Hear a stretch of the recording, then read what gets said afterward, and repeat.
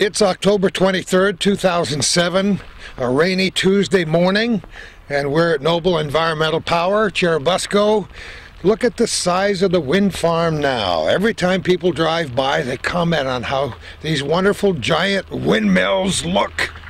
And some people uh, have commented tremendously on the first edition of the program about Noble Wind Power.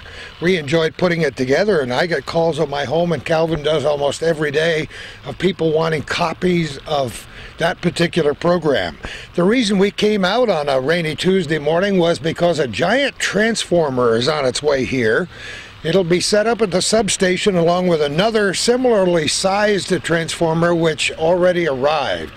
Our original intention was to be here when the transformer arrived at 9 o'clock, but when we came this morning, we were told that it probably won't be here until somewhere close to 1 o'clock this afternoon.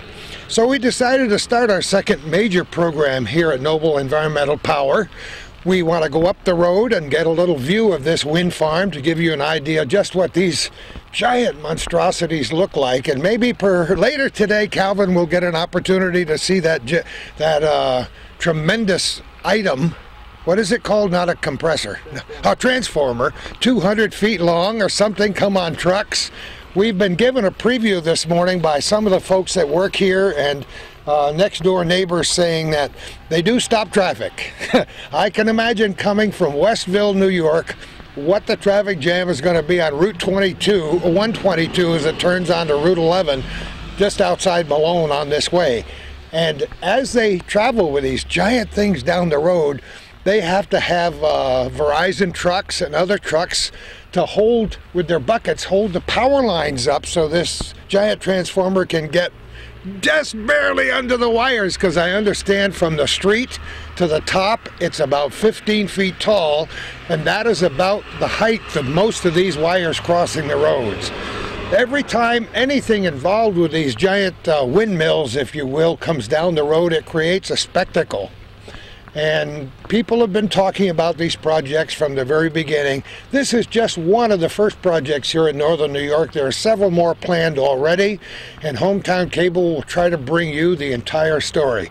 We're going to take a ride up the road and take a look at this wind farm from another angle. Stay tuned. Well, it's quarter of 10 in the morning on the same day, uh, rainy Tuesday morning and we're out in the country. There's a car coming, so Calvin will have to step back for a moment. But we thought we'd come up on the Harrigan Road in the town of Ellenburg off Route 190 that heads down toward Brainardsville because uh, Darlene back at the Noble office told us this would be a good view of some of the uh, wind towers as they're being built. And this harkens back. Wow, look at the shadows in the. It's almost more eerie, isn't it, in this kind of a dark gray day to take a look at these things in the sky. They're kind of a marvel to us, and we've had the privilege of being attached to this concept and this program from the very beginning. And as I said earlier in the program, it's generated a great deal of comment from our hometown cable viewers. The sky's moving very quickly today. Not a driving rain, but a persistent rain here. We, uh, oh, that, that one is, you can tell the wind is slightly turning that one. Can you see that a little bit? Where, Calvin and I kind of excited to actually see these wind towers, these huge turbines in operation and perhaps I don't know. We, we, we think maybe in a few weeks, maybe some of them will be turning. We're, we're not sure exactly what happens. But when they do, and when they actually start generating power through that big substation that we visited in our first program, that will be uh, just another chapter in this wonderful wind power story here in the North Country. It's something that has garnered a great deal of attention and will continue in the future. And so we'll try to cover this story right from the right from the very uh, start until it, it ends, and I don't know when it will end because this is only one project. There's the Clinton project, there's the Ellenburg project, there's the Altona project, and who knows how far this wind farm concept uh, will continue before it's finished in the North Country. It is a means of alternative energy, and goodness knows Uh, the world needs to find alternative energies with all the discussion we've heard lately in the news media, and we happen to be right in the middle of it here in the North Country.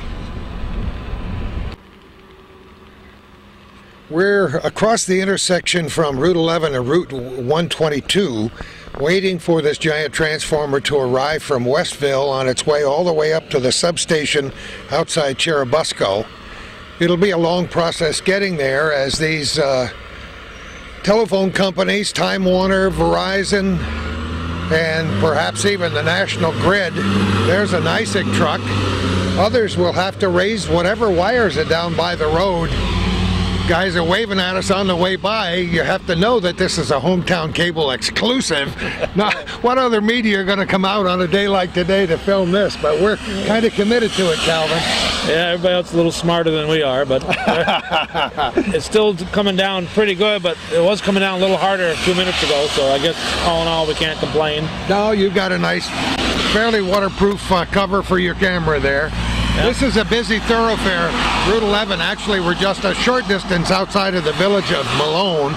And this is uh, kind of a cutoff for people who want to head over toward Massena. They can just turn on Route 22 and heading that way toward Westville. Head Westville, Constable, Fort Covington. This is the this is the route we all take. This is the one we all take to get over there, and every year I go over there to go camping at Coles Creek. But I think we're getting serious here this morning, aren't we? Huh? We're seeing more and more of these trucks. Uh, we did drive down uh, Route 122 a little ways, and we we saw them coming, so we headed back here to this intersection. Uh, there will be some cable wires. We saw some Time Warner guys uh, sitting there in uh, Chateaugay when we yes, came we by. did. Yep. And uh, NYSEG, uh, uh, gentleman from NYSEG, is the one who alerted us to all this. We appreciate uh, Rusty's call to, to tell us about this. And uh, it should be an interesting thing, but their angle here won't be quite as bad as the, when they try to get on that uh, Ryan Road off uh, Route 11 up by Dick's Country Store. It looks like they're moving again, Gordy. Yeah, when you when you consider the uh, just a tremendous size, I called these towers a monstrosity before, and I meant that in almost an affectionate way because they're so big. Because to me, a whale is a monstrosity, but. Uh, even the parts of these things are huge as we've seen them all go by our houses in the future or in the past. There's a Time Warner truck right there. You know what the state police are going to be doing at this corner, don't you? They'll be, they'll be blocking off the traffic very shortly.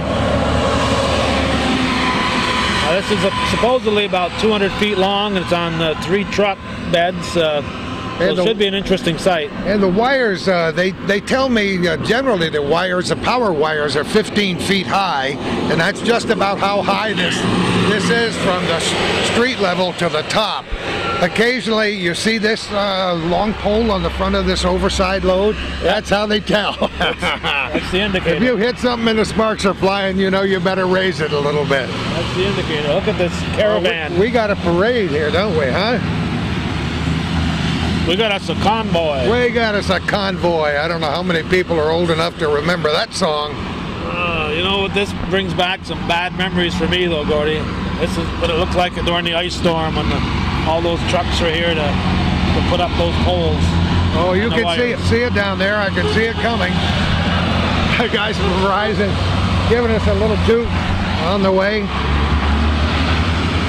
Nice It's, thing. it's kind of, it, you know, it's a piece of history, isn't it? It certainly is. It's a important piece of history. It's uh, it's going to mean, uh, I think, a, a lot of great things. Uh, you and I were uh, driving back from the Harrigan Road down down in this direction and looking at all those. Uh, all those towers up there, and you realize that the dollars that each one of those is going to put in the pockets of the farmers and homeowners and residents, property owners that are going to be reaping the, the money from those. It's just it's just incredible the, the dollars that uh, this whole project is going to bring into our community up here. I am so delighted that we came down here. Sometimes Providence leads us. Sometimes we go astray. But every now and again, our guardian angels tell us where to go. And I think we got lucky stopping at this intersection today because there is an absolutely perfect view of that giant transformer.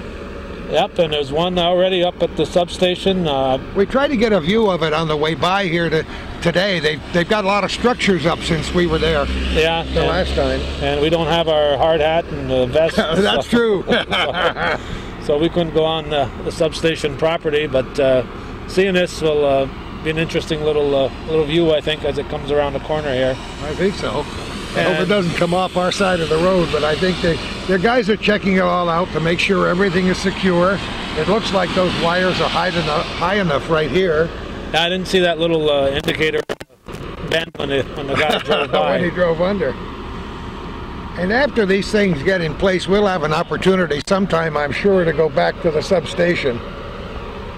Yes, to, uh, yeah, this is just the start of uh, our second episode on this uh, construction of these towers. Uh, as part of this program here that we're starting today on uh, October 23rd, uh, we want to end up talking to the uh, some of the property owners, uh, some of the neighbors, uh, some of the business people in the area who might have had some impact with the, this construction phase, and also to some of the leaders of the town government and and the town of Churubusco, Clinton, as, as it's properly called, Altona, and Ellenburg. So Yeah, for some people, life as they knew it will be changing when when when these farms are are constructed, and this is just the first of many. yes, uh, what we're seeing here today in 2007 is just the beginning. Uh, next year they'll be putting up uh, similar projects in uh, in uh, Chateaugay and in Brainardsville. Uh, which I think is called the town of Belmont. Uh, Right, you know, we all yep. know it as Brainardsville, just as we know the town of Clinton is Churubusco. Um, and then there's another uh, similar uh, project coming through by a, from another company uh, called Marble River, and they're going to be putting up more towers Correct. in the Ellenburg and Chateaugay area, and maybe even out. Not sure about Altona, but uh, they'll be putting up more towers next year. So when this is all done by the end of 2008, it should be extremely interesting.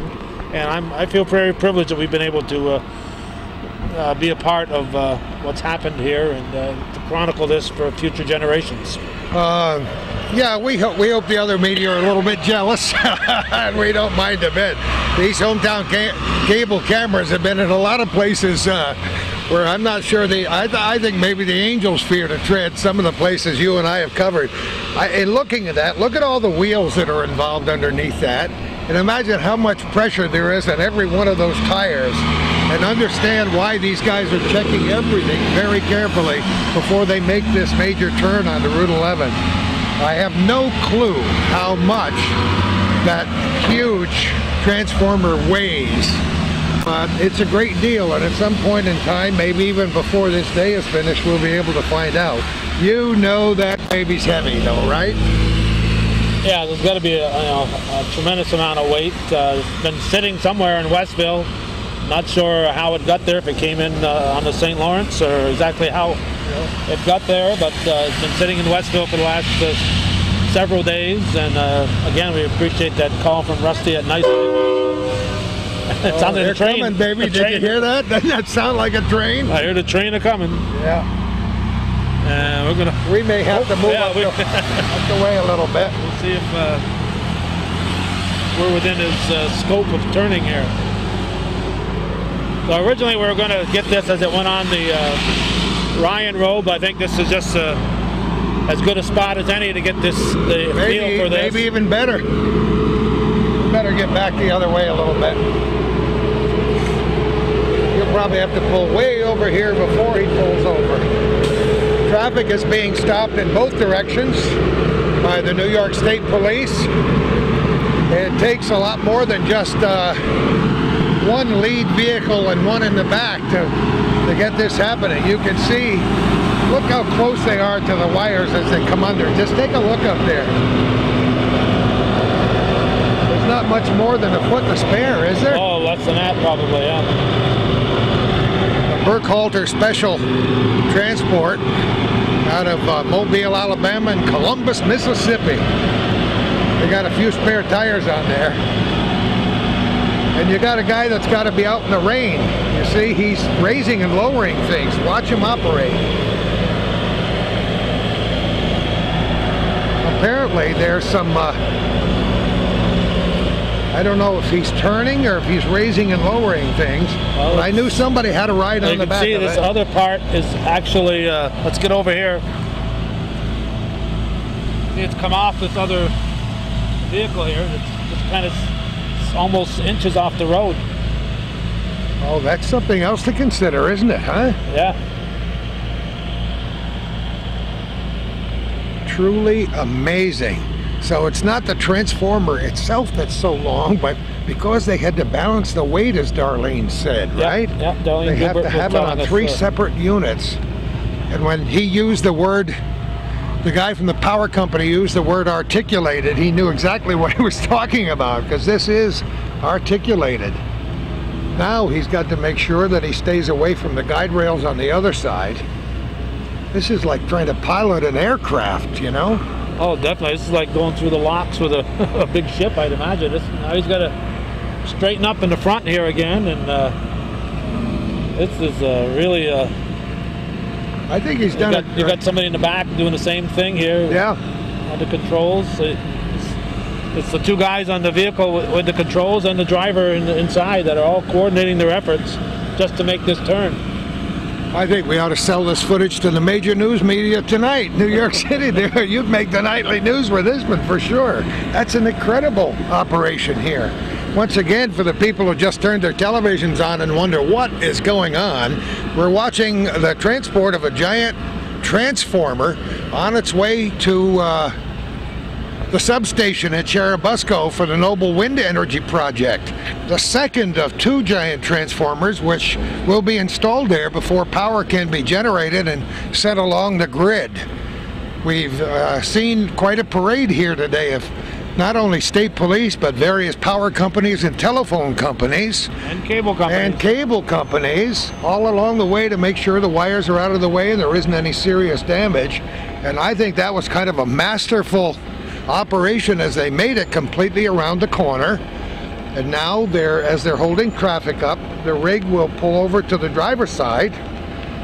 And we were right when we were told once it gets going on the straight, it doesn't take up much more than a lane of traffic, does it? No, but uh, obviously they can't travel too fast when they're on the straightaway because you've got all these articulated situations Yeah. here that you've got to keep in a straight line, and that, that's. Uh, I don't know how they lock this in. You've got to be able to go around corners. So it's, uh, it's an interesting little project. Yeah, when, when I heard about the people riding up in the back, I was all I could think of was the, the big hook and ladder trucks in the olden days that they had at fire companies. But this is mar, much more sophisticated than that.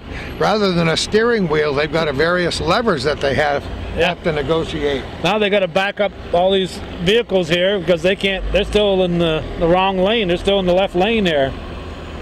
I don't know if they're going to back up and go ahead or what they're going to do. That police car is backed up as far as he can. So They got- they've got to get out of that left lane. They're not in England here. They're, they're over in the U.S. So they got to go move into the right lane, and they've got uh, a good half mile of traffic. I guess they're going to let some of the traffic come through. There we go. Yeah, we go. We'll stand a little bit off the road here. They're going to let the traffic that was backed up come through before they move out into the main highway and get going. Once again, uh, we're doing this all on the uh, 23rd day of October 2007, the second in a series of programs on uh, the Noble Wind Energy Power. Uh, we're at the intersection of Route 122 and Route 11 right outside the village of Malone. And this caravan, if you will, has got to make its way from Westville, where it started sometime early this morning, I presume after 9 o'clock, and it will end up at the substation um, in Churubusco later on. We're in real time, it's quarter of 11 in the morning, and so uh, they're making general progress. So maybe by 1 o'clock they'll be there. Yep, we'll be somewhere else, but uh, it was nice to get this anyway and make it part of this program. And again, the uh, general purpose of this program is to talk to the, the people who are impacted and uh, get an idea of, of the uh, community leaders, uh, what they think, what the property owners think of all this. But this is a good start to that. We've got another hour and a half or so of programming coming up, so people will stick around and watch that.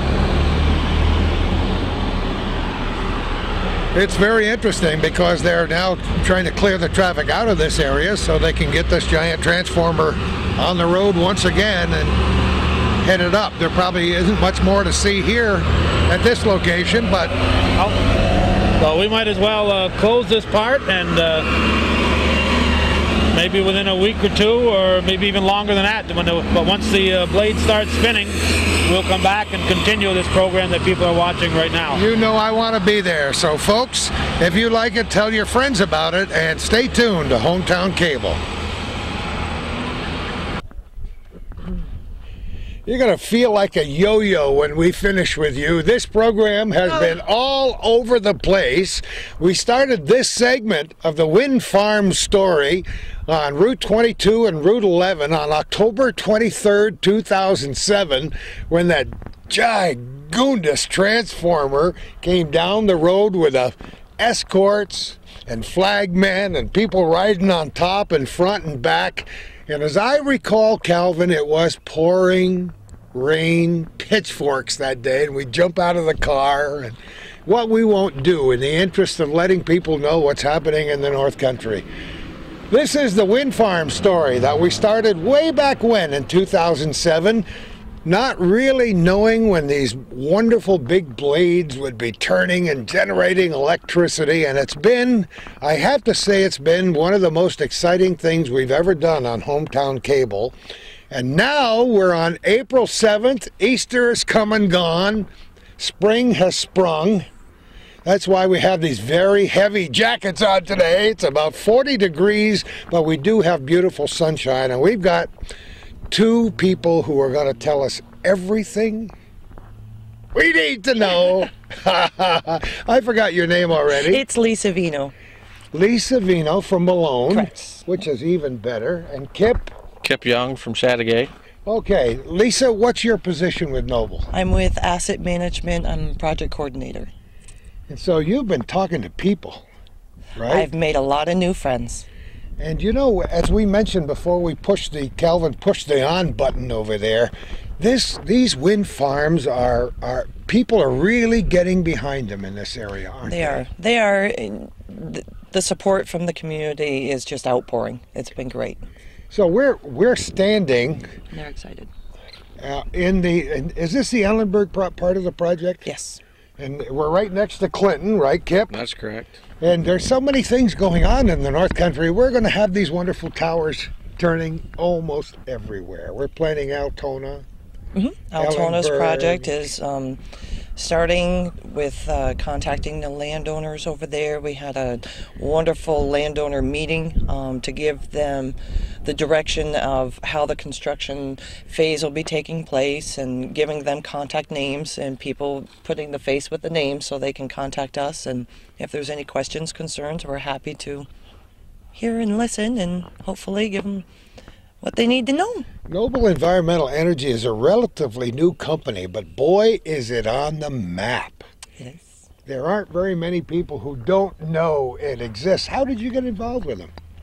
Oh, oh boy. Actually, um, prior to coming on to Noble, I was running a hotel down in Malone. So when Noble first came, transition, yeah, right? when Noble first came to the area, I made a lot of great contacts there um, as they were developing and starting the whole series of getting to the stage where we are right now.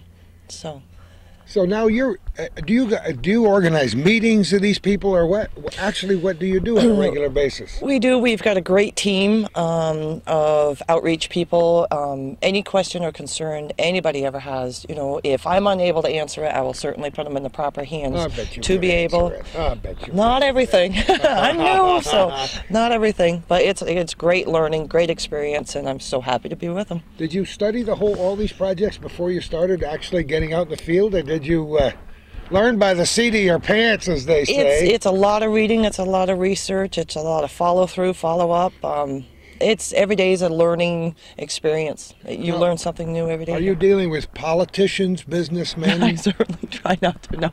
I'm not a politician. But I mean, I just wondered what kind. You're meeting just average John Q. citizens, uh, or business Mm-hmm. we, people, or we attend the town board meetings. Um, I'm working on another project and very closely with the town supervisors um, for Ellenburg, Clinton, and Altona. And the town historians and whoever wants to be on that committee doing some projects and great, great people. We're going to go back and forth a little bit here, if you don't mind. Kip, you're a local guy. Yep, so I'm from Chateaugay. I've been up here for about We can't uh, hold that against him, right? no for about 15 years. Uh, I was currently employed with uh, Boralex, a small biomass plant right next door to us, um, and I joined this team in August of 2007. So what what actually is your uh, duties with these guys? I'm the uh, P- North Country plant manager, so I'm responsible for the Clinton, the Ellenburg, the soon-to-be Altona, and Chateaugay sites. Actually, all these sites will be almost contiguous, right next to each other. Once they get in, operation, it'll be just one big giant wind farm when it's all done. Uh, we're gonna treat it as one big giant wind farm. Uh, we'll be building a building down on Route 11 uh, for the operations and the maintenance end of it this summer. How did you first get interested in it? Well, I was in Pretty hard to avoid it when these things are all over the place, but We, uh, some of my uh, old counterparts from days past uh, were involved in the early stages of this, and they contacted me when they found out I was still here and uh, asked me if I was interested in coming to Wind, and, and I was.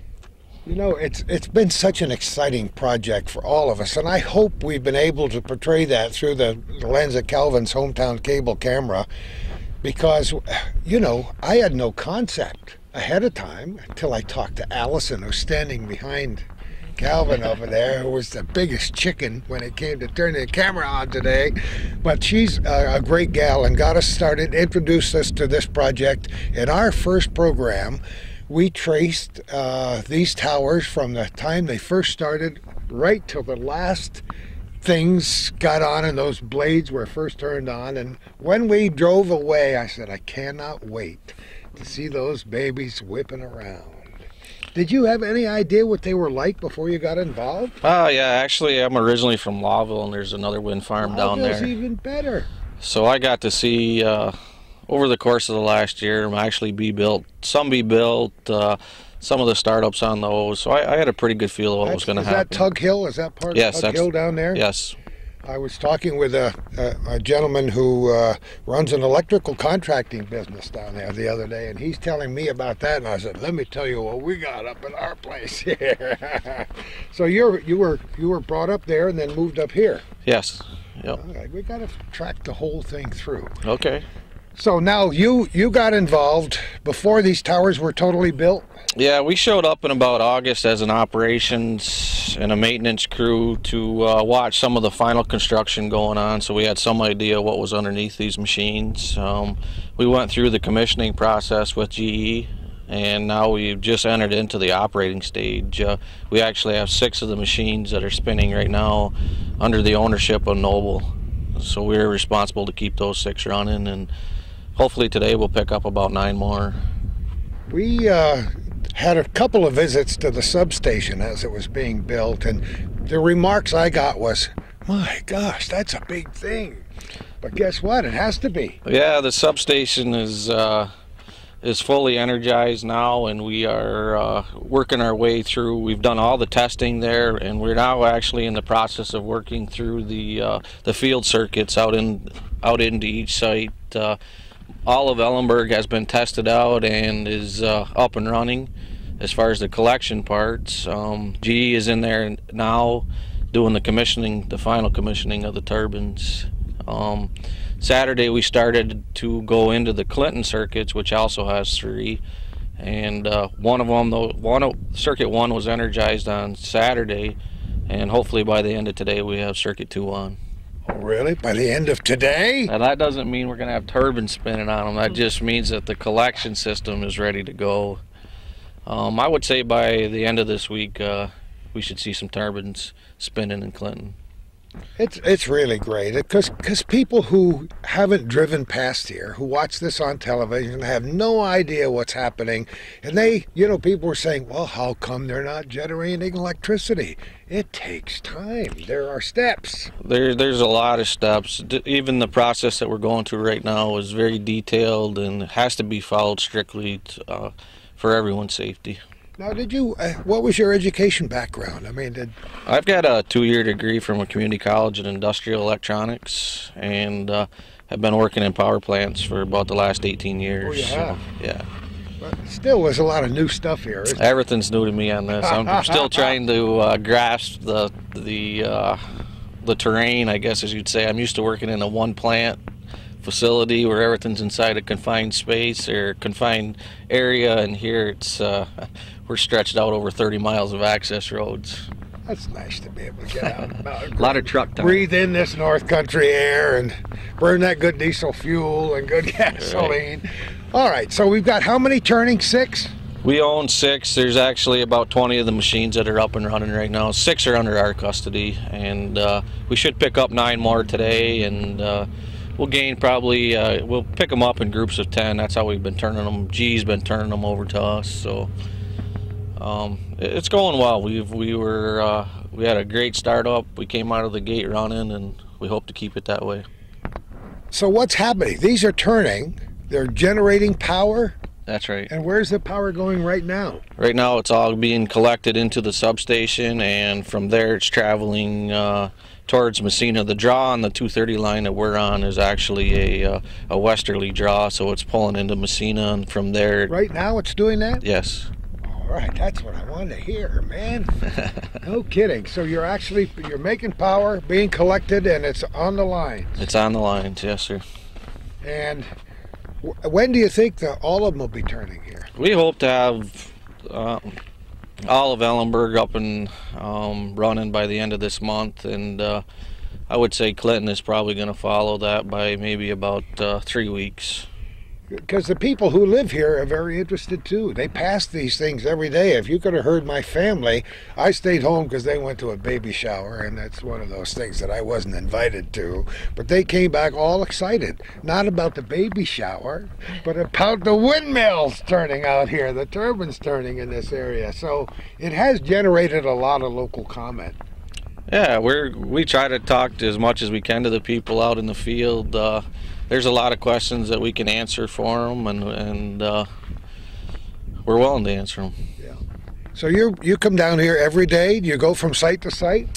Yeah, my office is right in Churubusco, but uh, we're on the roads from seven in the morning till uh, seven at night usually. So Any of our viewers who missed the first part of uh, this program, what a shame because we laid all the groundwork.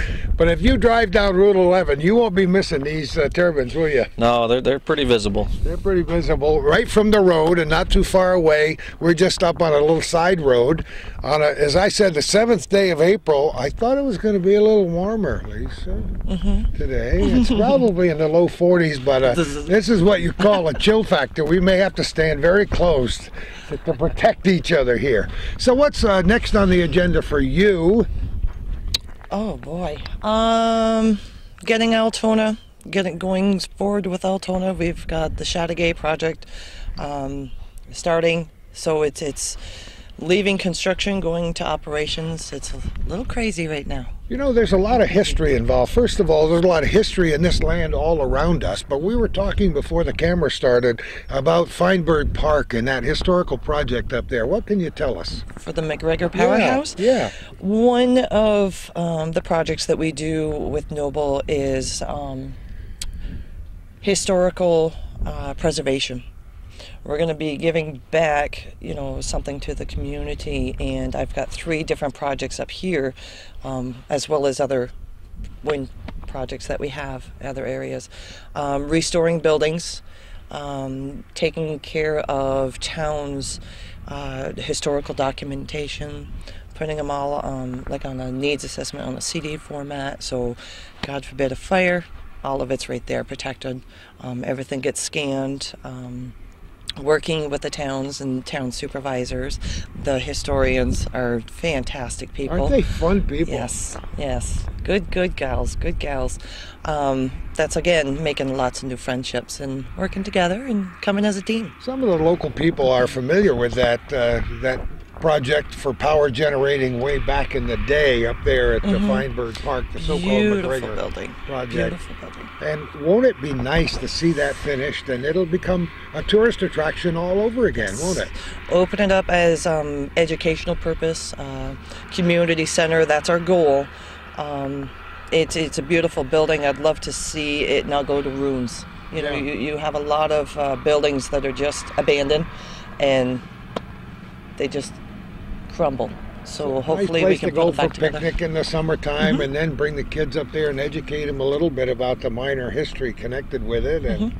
It has been a very interesting project to work on. yeah, did you know about it before you went up there? I did not. No kidding. No, I did not. So that's so no wonder is, it's exciting to meet the is. historians and learn what yeah, happened Yeah, it is. back it in is. the day. It is. Yeah. It's, it's been great fun. So you'll be working there, and you'll still be meeting with local groups and. Around here. Yeah, we have a committee for each of the towns. Like we just did, um, Noble just had uh, open houses for each of the towns, Clinton, Ellenburg, and Altona. Um, some of the locals brought out their personal archive, that any um, the photographs, documents, diaries, anything that they have, so we can scan it because that's your town's history. It's all for your town. You know, I love that. We talk about it all the time about giving back. Mm-hmm. And isn't it nice when Go- Noble comes to town and decides they want to give back to the communities and enhance and preserve Mm-hmm. and educate people about their local history? And guess what? Every one of these wonderful turbines is now a part of history, isn't it? It sure is. Big It's- part of history. What a chapter here. Yeah, it's it's exciting to be involved in it. You know, it must be personally exciting for you Yeah, to be involved in it. it was neat to see it. You know, to be able to walk drive by the substation, say I started that substation up. I mean, that's that's part of history right there. So I'm glad to be there.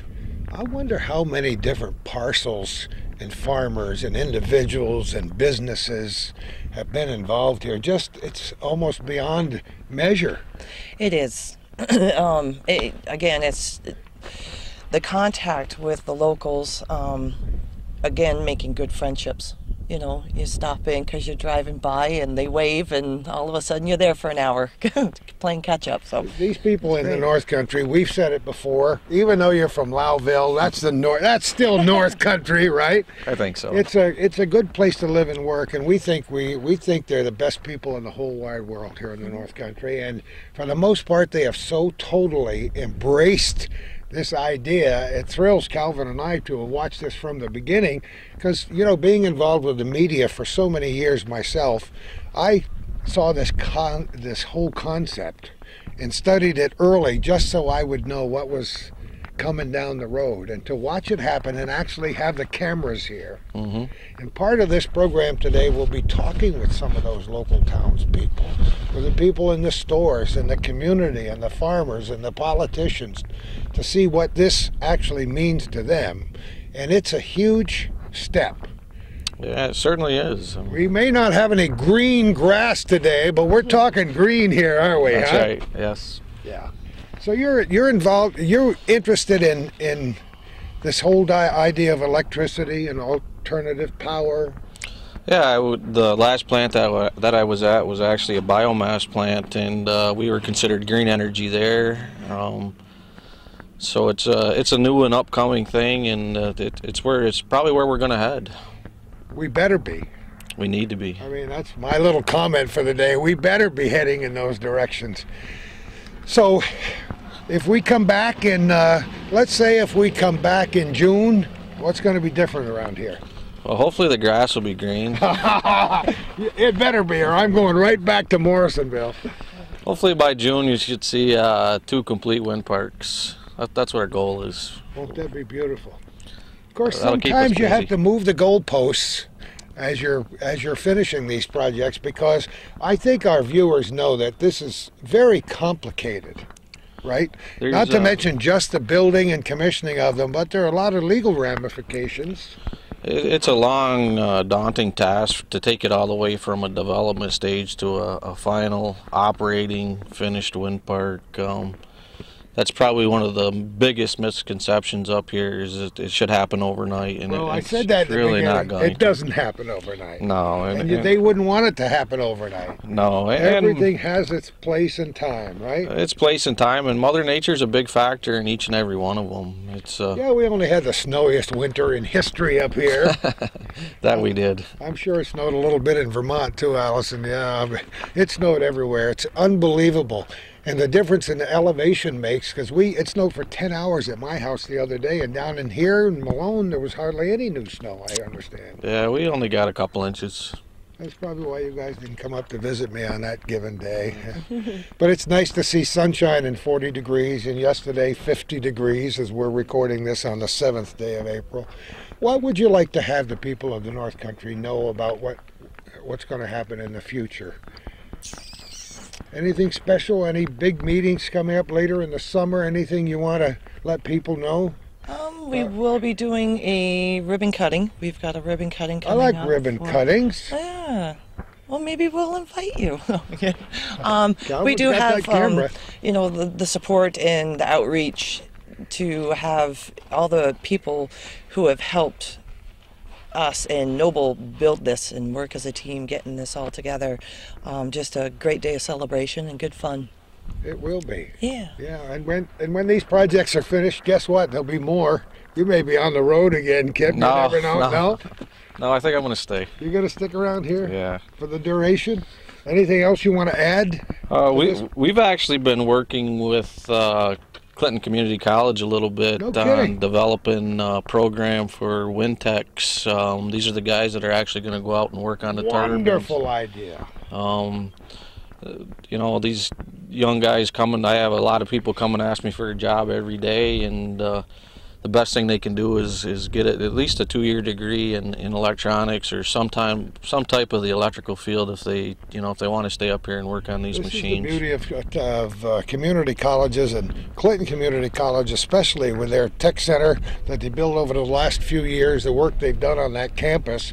And the whole concept is to train people for the age we're entering, isn't it? Yes, and that's that's one of been one of the hardest things for me as a plant manager up here is to find. Uh, we always say the worst part about going to work is, is getting to work because we, we climb about 180 feet before we really do anything, and and it's uh it's a challenge to get to the top. It's a workout. Um, but uh, the younger guys, there's there's a big spot for them in this industry. It's a new industry. There's the demand for those types of people are are large. You can write your own ticket here. So you've been talking with them. yeah, we've uh, we've discussed some course material with them. It's in the infancy stage right now, and uh, there is a couple of colleges that are in the Midwest that do it now. Um, but uh, I mean, it's not only in this area that they see these things going up. The opportunity to move around this place, the United States, is just Incredible. incredible.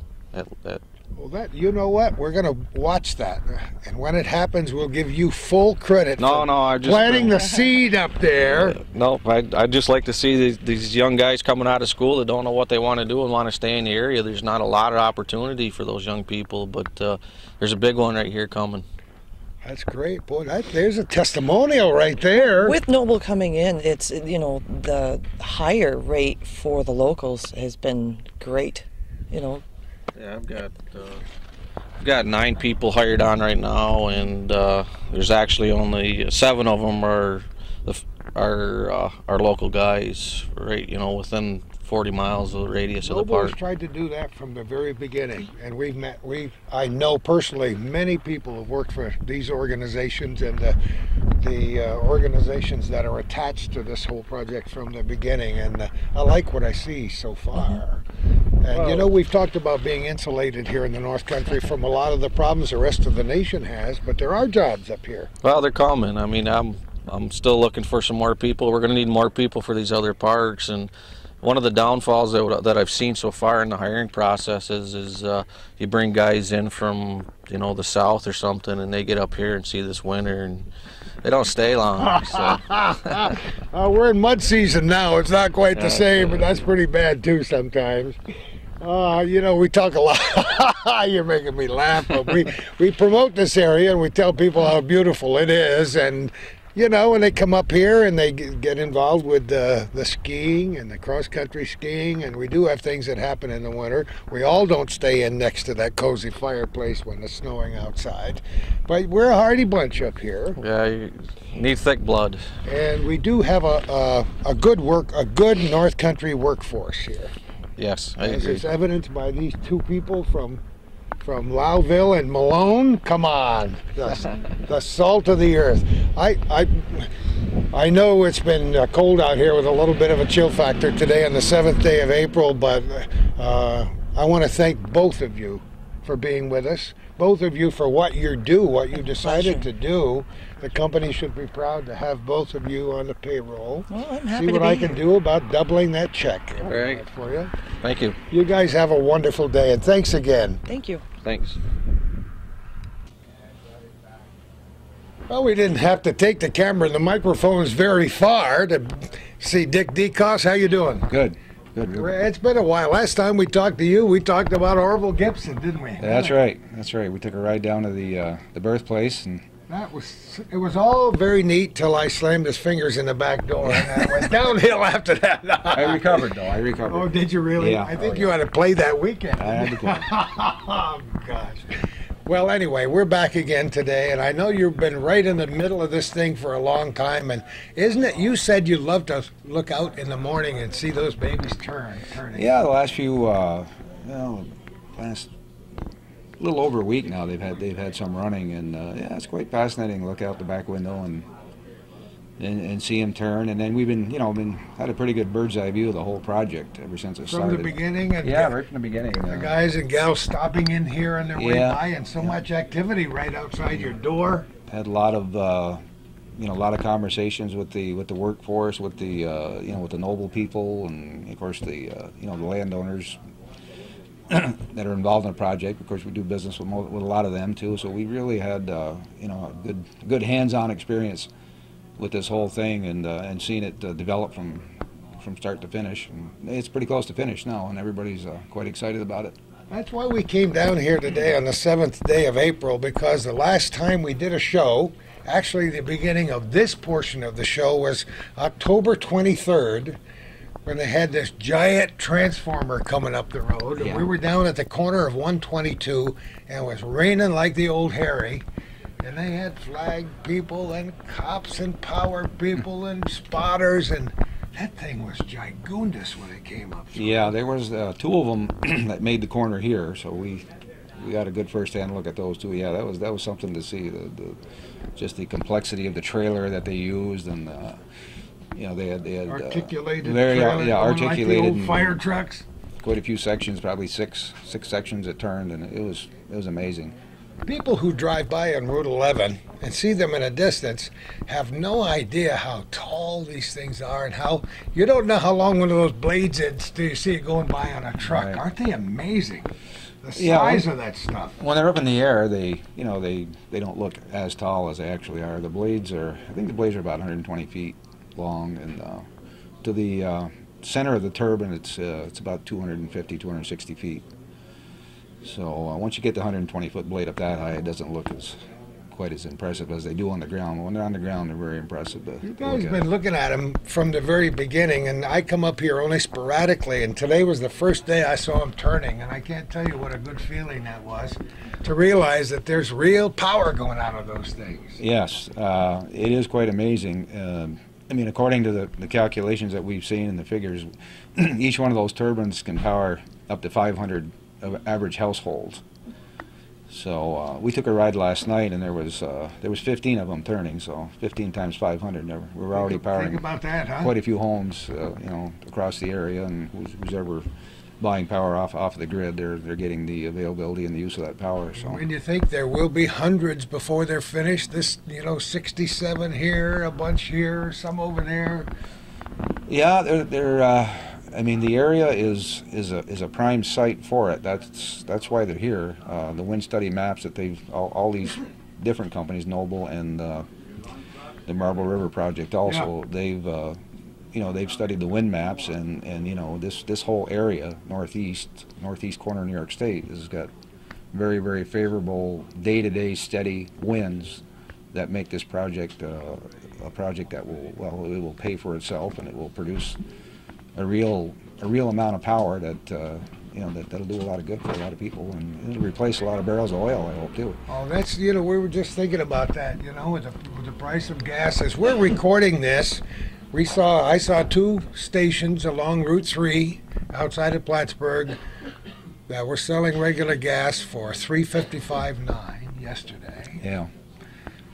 Yeah, the gas, uh, I'm, you know, being in the gas business, um, I mean, the price can change 10 or 15 cents in one day. In one day. In one day. And I mean, it used to be years ago, if it changed a half a cent a day, that was, Yeah. everybody took a notice of that. But now it can change 8, 10, 12, 15 cents just in a day. It can go up, it can go down.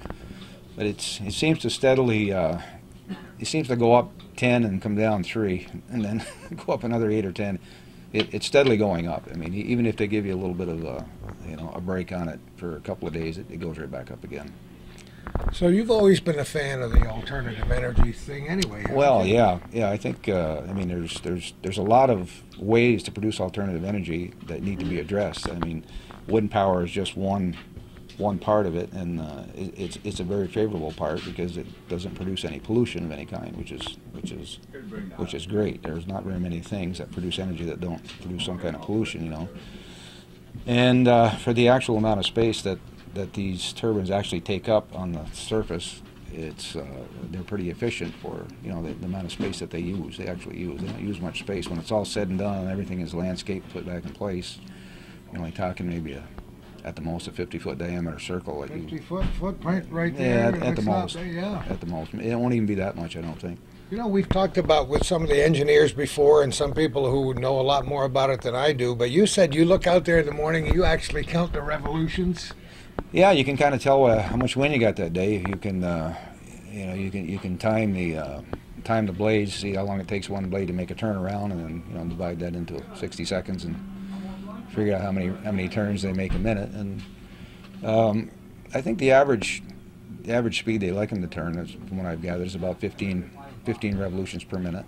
And um, uh, the other day I looked out, I figured they were doing about 12 to 13, and then a couple days later, I think uh, they had a little more wind. They were uh, maybe 15, 18, you know. So it does vary, but uh, I mean, they have the technology to, to take that variable speed, but to put it into a steady flow of electricity and supply a steady a steady amount of current into the grid. So I mean, Isn't the- that amazing? the when the wind gets too strong, then it shuts down. It shuts down at, uh, I think at approximately 50 to 55 mile an hour wind, they will they will automatically shut down and uh, and, and the brakes come on and they they're locked in position until until, the wind goes down. Isn't that incredible? You know, for safety reasons and so on. I think that's pretty amazing. With generating that much power, I think the blades are actually uh, the pitch can can vary on the blades, can it? Feather the blades. Yeah, I Yes, think uh, I remember. very them similar to an that. airplane propeller. Yeah, You isn't know, it they, they amazing can to change the pitch so they'll take more or less wind. Yeah. So and actually, the more wind you have, the more they can uh, they can feather the blade out, so it, it doesn't Yeah. take as much wind and maintains that steady uh, 15 to 20 revolutions per minute, uh, regardless of how much wind. When you get a lower wind, they they flatten out into the wind, so the wind pushes a little harder. Well, you said it's an ideal area for it, and it's got to be because you haven't seen them stop yet, have you? Uh, not really, no. Since uh, since the first one started, and uh, I get a good view from my upstairs window, Oh, do you? and uh, every morning when I'm looking out there, they're they're turning. So uh, yeah, that was the big one of the big reasons to come here is we have, you know, we have day-to-day steady supply of wind on a day-to-day basis. And uh, I know on the ground some days it may seem calm, but at, at the height of the turbine height, Yeah, know, think about 250 that. feet, It's uh, it's pretty steady. Yeah. It's pretty steady wind supply up there, and uh, so that's that's why our area is so well suited for it. I mean, other places they, they wouldn't be able to support a project like this. They just don't have the wind. But uh, everybody has some wind, but not not on a steady basis. I mean, since I've been living here in this corner, well, my dad came here in 1962, and uh, the wind has always been a, a great topic of conversation here. People pumping gas out front and coming Holding in, their, hat- hats. their hats are blowing off, and the, down the road, and Oh, uh, yeah. it- you know, it's so it's. Uh, I know if my dad were here today, he'd be he'd be totally fascinated by uh, I bet he would by be. this because oftentimes he would he would say, joking at that time, "What a great place this would be for a windmill." You know, when somebody come in, their hat just blew off in the yard, and was uh, You know, this making power from, from the wind is not at all a new concept. It's been done for hundreds of years. You know, you remember as a kid seeing in the books in, in Holland, yeah. Wind powers. Uh, they've they've utilized wind power. yeah. farmers have used Oh, yeah. wind power to pump water. pump water, sure. But this takes it to a whole new level. Yes, it does, and uh, and you know, you know what? I'm sure that they're going to improve uh, as time goes on. I mean, I, I'm even seeing now on some other um, some other types of turbines are developing, which look totally different than these. Really? They're vertical, and they turn this way. But You they're, gotta I be mean, they're. kidding. I haven't uh, seen those yet. Yeah, they're not on a commercial scale. I should have known yet. you would have read about those. I But they uh, they have them now that are that'll that'll run in even less wind. They're on a smaller scale. They're not on the grand scale what these are on. But uh, eventually, uh, an individual, well, even now, an individual can purchase one of these, and uh, some of them put out uh, 10 kilowatts, which is that'd probably run, you know, pretty much run your house.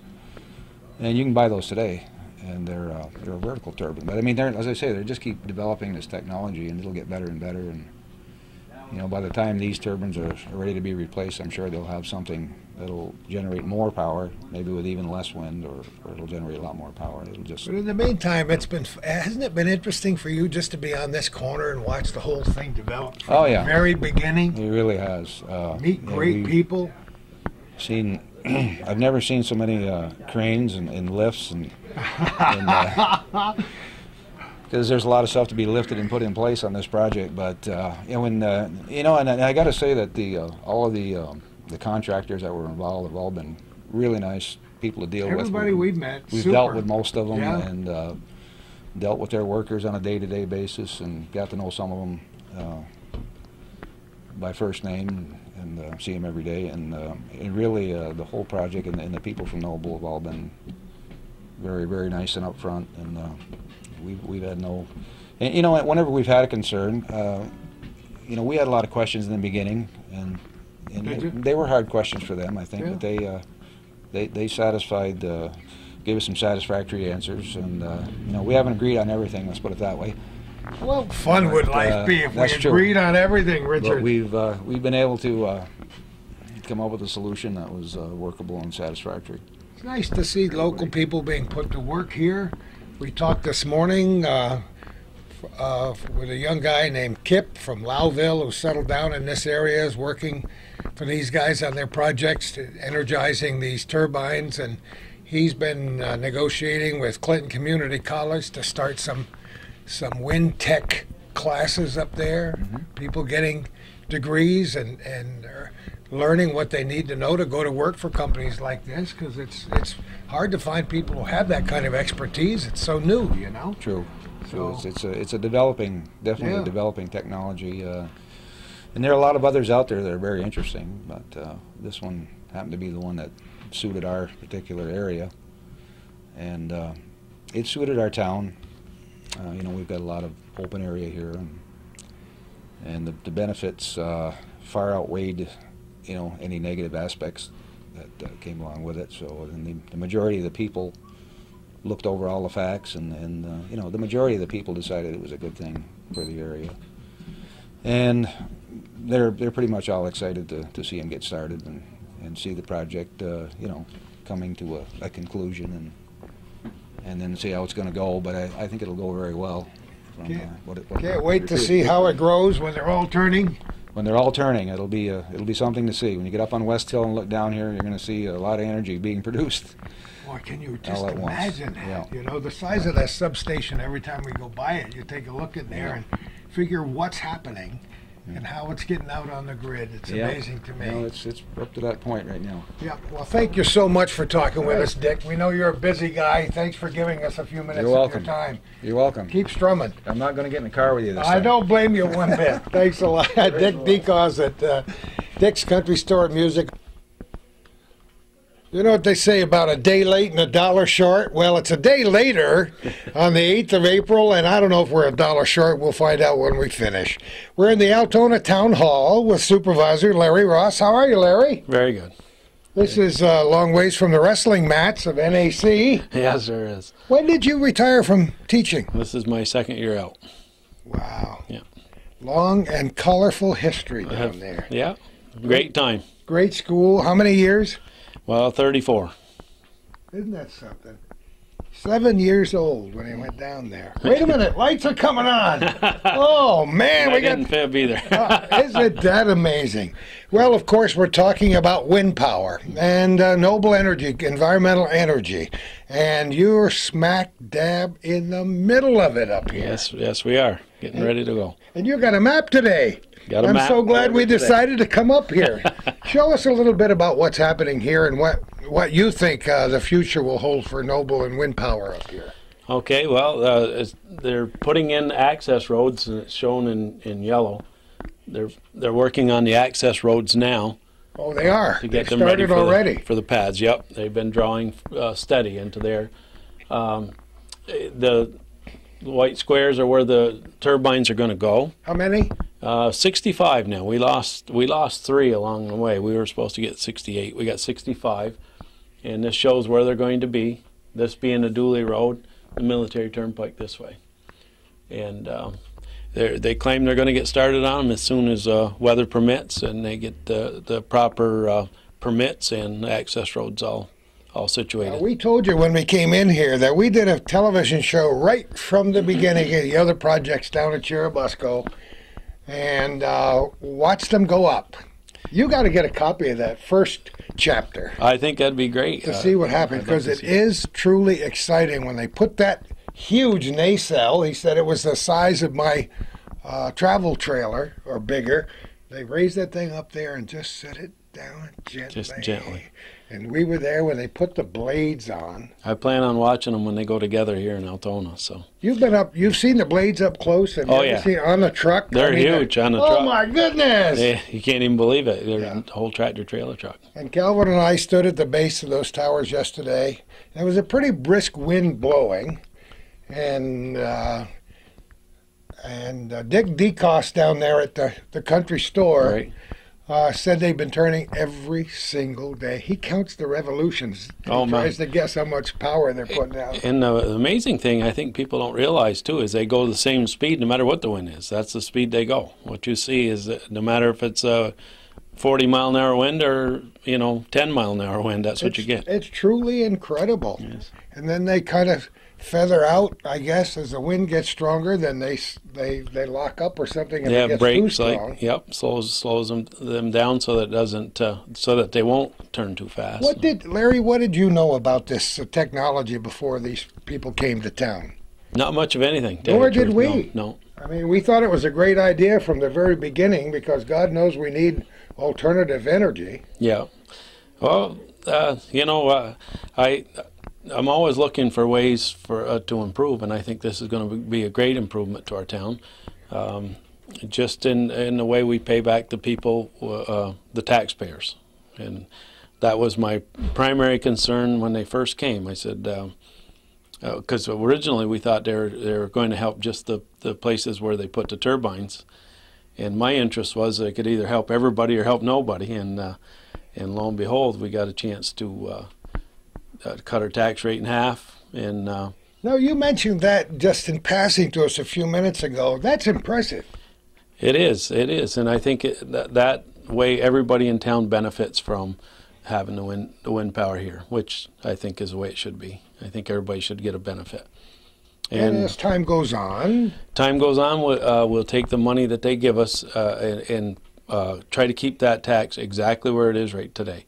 So if the assessments go up, we'll add a little bit more money to it to keep the, keep it right in the, the same level it is. so you you weren't in the dark at all on this right from the very beginning. You had meetings and meetings, and there'll be Lots of meetings, there'll be more meetings. lots of books. You can see all those books over there. It's all it's all the project. Is it really? Yeah. So there, there was a lot of reading. There was a lot of uh, meetings, and uh, uh, I traveled out to see them in Fenner by myself. Oh, you did really? Yeah. So I knew what uh, once they once they sounded like they were coming here. I wanted to know what the people would be in for in town if they got Yeah. here. So I didn't go announced. I and I didn't go on a tour. I, I my son and I went out and we uh, What a great idea! Just looked do at it. them. Take Went got in the middle of them and see how see what I if I would like it in my backyard. And lo and behold, that's where they are, my backyard. I don't have one, but everybody around me does. But uh, they they uh, I I could make my own mind up uh, about the noise, uh, the visual part of it, and and I by by going right there and doing it. And I, I went to people that rented trailers that lived that were like 300 feet from them. I went to farms that that uh, benefited uh, by having the substation on their property and and doing the plowing and whatever. And I went to people that didn't have anything to do with them, and I talked to everybody, store owners, and uh, made my rounds. And I had a rangefinder that I that I used so I could tell how far away I was. And, Did you? Right? Un- unbelievable. yeah, so I, I kind of I thought, well, I didn't care for it at 300 yards. I said, well, 300 yards maybe, uh, or they would interfere with people, but 400 it didn't bother at all. And I thought, well, okay, so I Didn't you say that you could have a normal conversation and then you wouldn't even be able to hear it? It, it, yes, at 400 yards, you couldn't, if you're just visiting the way we are today, you wouldn't be able to hear them at all. You'd have to stop and listen and say, oh, okay, I see. Probably not nearly as loud as it would be in an airplane, for example, trying to talk. You and me, you know how you No, always I hear don't- that yeah. rushing sound? No, I don't think it would be. Yeah. Uh, I didn't get the impression when I was there, at least, you know, so. Well, your bottom line was not to please uh, Larry Ross, but to make sure that this was a good thing for the town. Yeah, well, our town's had a history of, of you know, people trying to dump things on us. We didn't want that, and we wanted something that would benefit benefit the town. And I think we've come a long way, and I think this is going to help us go that much farther. Isn't that terrific? It sure is. So, we, of course, it's hard to set a timetable uh, because they never know exactly what they're going to run into once they get started. These other projects have taken longer than they expected, and that's all we heard after we did the first program. Gordy, when are they going to turn? Yeah, right. And people drive by Route 11 between Ellenburg and Malone, and they look at those towers and they wait to see the first one turning, and you could almost hear them cheering. People stopping with their movie cameras to take pictures when the big. And I uh, can bet Noble Power was cheering too to see Well, him turn of because course they were. you know that that's a big a big uh, issue for them to get them going. That's when they're making money and making power. When you think of how much effort it takes to build a.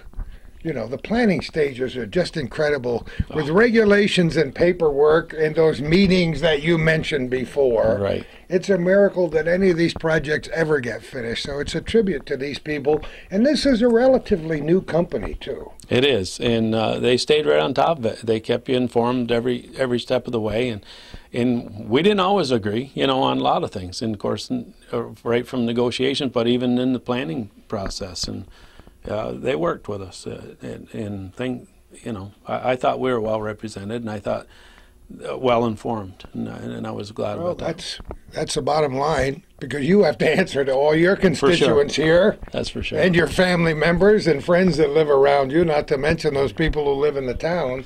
So you better you better stay ahead of the curve too Yeah. a little bit here. Yeah, well, we had, uh, uh, I've had other um, wind companies uh, approach me, but I, I want to see what what we have and live with them and see how it is before we do anything else. I would like to see how they're going to fit in and how everybody likes them. Yeah, well, I think we can remind our viewers that somebody, most of these contracts are what, 15 years? This is 15 years, yes.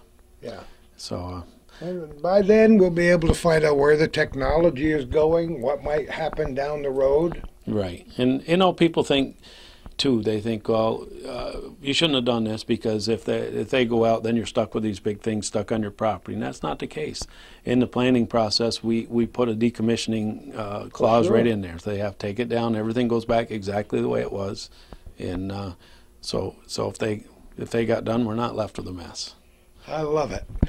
So, this is the beginning. People are seeing this fresh, brand new map on the on the wall today, and you saw it for the first time, and it gives you a little perspective about what how the face of your town will at least change. Yeah, right. Who knows what it'll do for tourism?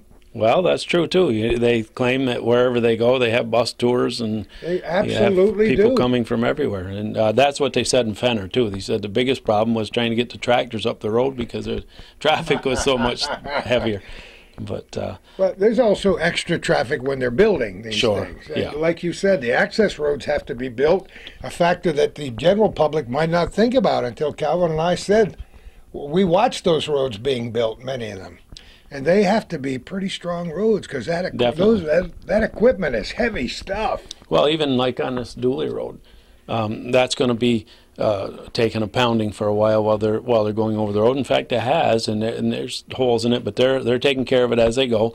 But when they get done, it's going to be paved end to end and all new culverts and all brand new. We've been looking at municipal uh, potholes in municipal roads and and county and state roads all over our county. We've had a we've just finished, folks, with one of the most horrendous winter snow wise. Warm and cold weather that we've that I can recall in all my years Oh, up boy. here. So, Seems to hang right on, doesn't it? It's uh, still ice out there. but fortunately, we're recording this on the eighth day of April, 2008, and its temperatures about 54, going to 60 today and tomorrow, and the next day. That's our spring. We haven't had any till now. Yeah, enjoy it. It may be only three days long. Don't put that snow shovel away. That's I right. put three out of four snow shovels away, and the next day it snowed for 10 hours. Yeah, well, we won't do that. We won't do that. We're going to take a little walk outside, maybe go up near the dam Okay. in the Feinberg Park and talk about a nice project that's going on there and maybe just wrap up our little conversation. Sound good? Sounds good. Thanks, Larry. Alrighty. We didn't get outside yet. We liked it so much inside, we decided to stay for a minute. Actually, Calvin had a couple questions, which I think we can clear up because he said, Where do you think the substation might be? So, Larry, point that out for us. Okay. The The- collection point. The power line runs runs almost parallel with the with the military turnpike, and the collection collection uh, station will be right in here on the corner of Dennis Per- Dennis and Cheryl Perrier's property. Because there'll be underground collection and overhead collection. Well, it'll be one collection, but it's gonna it's, there will be overhead lines and some under underground lines. Yes. Because we, Calvin and I, were driving yesterday on the seventh, and we were amazed. We saw them putting the poles up. Of course, we follow the project in steps, and then we saw these uh, lines. What three tiers of lines going up the up the road, and it's kind of amazing when they're getting close to completion. Well, what, what was amazing to me was the way the puzzle fits together. Um, there, there's so many regulations for these lines. Uh, you can't go underground if it's so close to wetlands, and you, you have to make sure that it's, it's a very small area or margin of error there for where you can put these things and where you can put the poles and whatever. So they aren't putting them there by accident. They're putting them there because of regulations with wetlands. Uh, uh, I don't know whatever DEC regulations of all kinds, and and uh, so there's certain places they can go. Property b- uh, boundaries, that kind of thing. It amazes me that these projects ever get completed because of that. A couple other things we want to mention before we leave here. You've only got one town road involved here, Right. and that's which road? The Dooley Road. The Which Dooley goes- Road right up here. Right. So that's good fortune for you. You don't have to worry about that one. Most of this property does not involve uh, residences, Right. Right. It's Many- many mostly camps- wooded camps and stuff camps, and hunting property. Right. Right. And there is going to be a road down here because there has to be access from this end and the Purdy Road up through here. There actually is a dirt road up there through there now, right? There's just a trail through there. Just right. a trail. In some places, it's better than others. It's better coming through from uh, from Rand Hill, and this is uh, a little better condition than it is all the way through. It gets real rough down in here before you get uh, out to the other end. Well, of the it'll be improved somewhat because they have oh, to get in there. For, definitely, yeah. You're bringing a lot of equipment down through there. Right. But I think that's a good point to let people know that they'll be going down the turnpike, up or down the turnpike, if you will. They're going across this road, and they're not going to see an awful as much as you would if you had miles and miles of Right, right. turbines turning. You're gonna.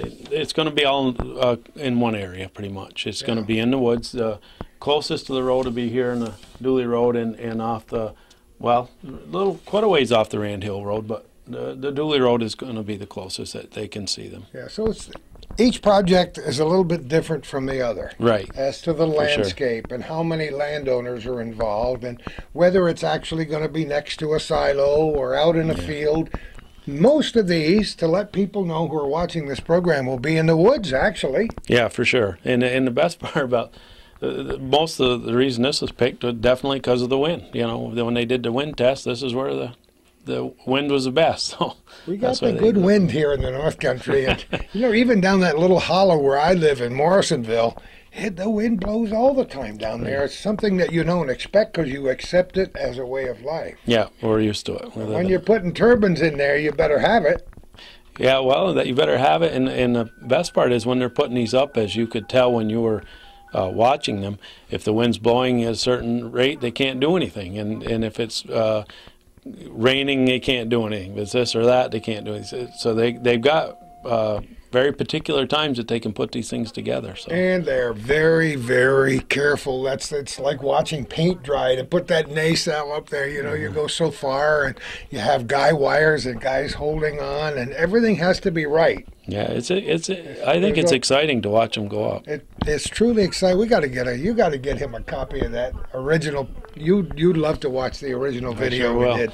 It was I was like a child because every time you talk to somebody, you learn something. Oh, for sure. Because I mean, we've never seen it before. So Yeah. everything, even the trucks passing you on the road with with the propellers or anything on them, it's amazing to me the size of the propellers. Those blades on a truck, and when Calvin and I at the beginning of this segment of our program saw that huge transformer come off Route 122 and come onto Route 11, and that it was a rainy day, and we were the only ones there in the media, but we wanted to catch it. It was they have these huge articulated trucks, guy in the back steering like the old-fashioned hook and ladder trucks Sure. in the cities, and then when they had to turn off Route 11 down in Busco next to the to uh, to Dick's Country Store, he said that was amazing to watch him go around that corner as well. Well, even I watched him come off the Northway, uh, and they had, like you said, the back of the truck turns and the front of the Isn't truck turns. Amazing. yeah, it is amazing. It, Yeah. They can maneuver that for for any distance,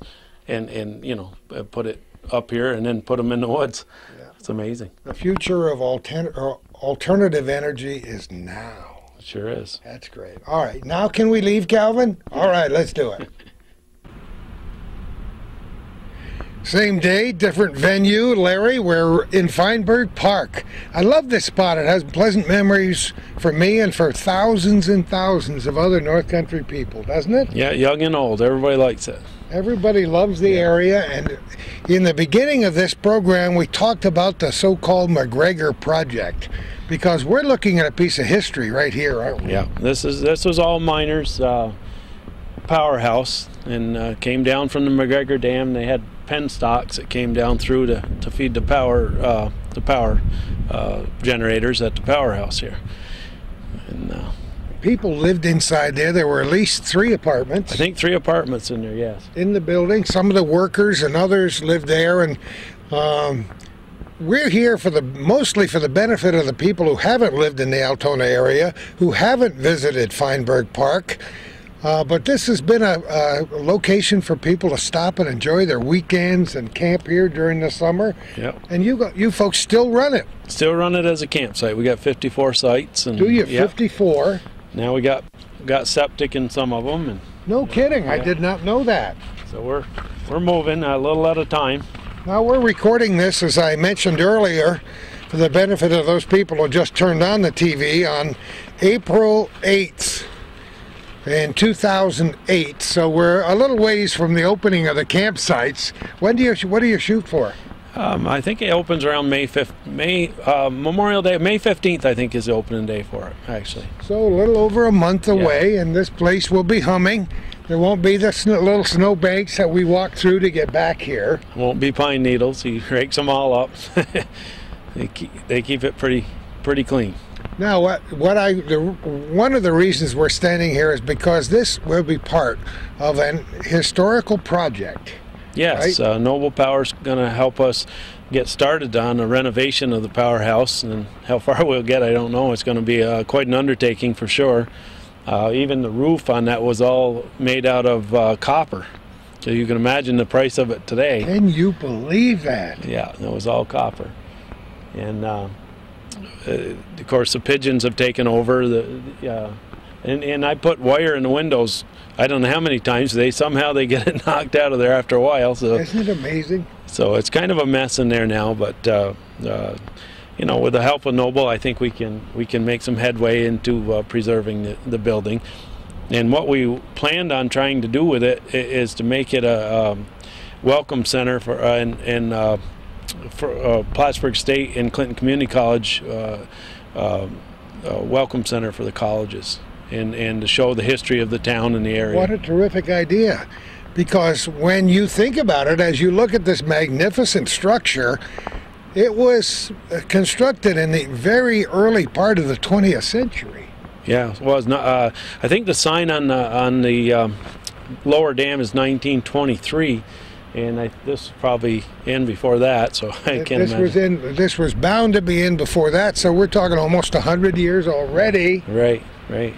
So uh, you guys are going to have to get in there yourselves and start the cleaning process, or what? I would say they suggested work bees and stuff. We're going to have a. What we're going to do is start a, um, cl- like a club or a um, committee, and see if we can get work bees going and stuff to help clean it up and That- get it back great. to get normal. You know, as Calvin and I went out to get in our car to follow you down here to Feinberg Park, the wind was whipping and we held onto our hats and we said, "Yeah, that's what we're looking at." Win for the wind project, right? Win for the Wind Project. Well, I want to wish you the best of luck. We'll no doubt be talking with you as your project gets underway and follow this project on your end of the world up here in Altona. Well, good. You know, we'll have you go through the powerhouse some uh, very soon. We're going to be, be able to start that now that people can get in here. So Our long take you time hometown cable viewers know that it was 1970, 1993, I mean, when when Calvin and the late Bob Venn came up here and did the tour. Did you? Are you the one that took them around? yeah, I Larry? believe so.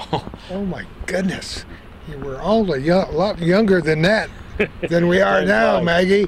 that was 93, so that's what 15 years.